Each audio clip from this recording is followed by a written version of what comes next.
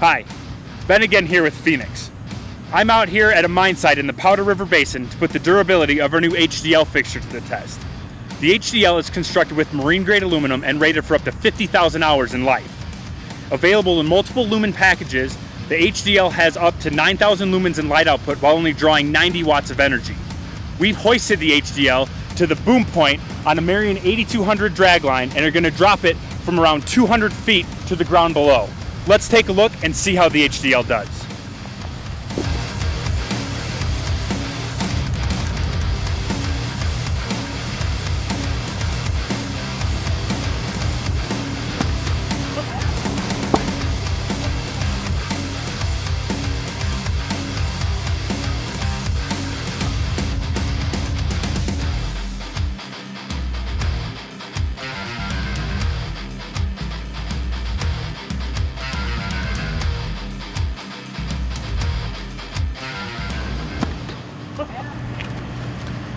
Yep.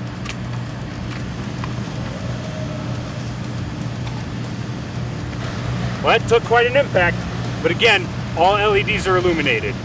Clearly, the Phoenix HDL is durable by design.